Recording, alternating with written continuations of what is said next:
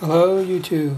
Just wanted to do a quick video um, about my 10 ounce goat. Just received a 10 ounce goat today. Uh, wish I got it yesterday so I could have put it into the original video. But um, just bringing out also my uh, kookaburras here, 10 ounce. Uh, as you notice, looks like the um, uh, lunar 10 ounces are a little bit bigger than the uh, kookaburras. Uh, I would expect that it would have been the same because they're from the Perth Mint, but um, you can see it's uh, the um, kookaburra is um, a little bit chunkier um, and diameter is, is smaller. But um, just to reiterate, um, I think I got a good deal on this. I paid about $1.80 over spot.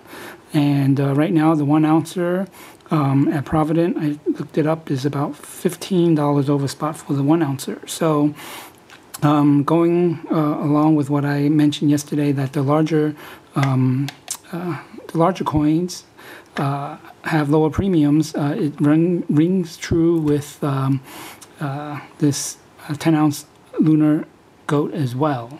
So um, yeah, if you have the inclination for the big bigger coins, just go for this because the premiums for this is a lot lower than the one ounce um, one ounce lunar goat. So that's it for today. Thanks everybody for watching. Please like, subscribe, and comment.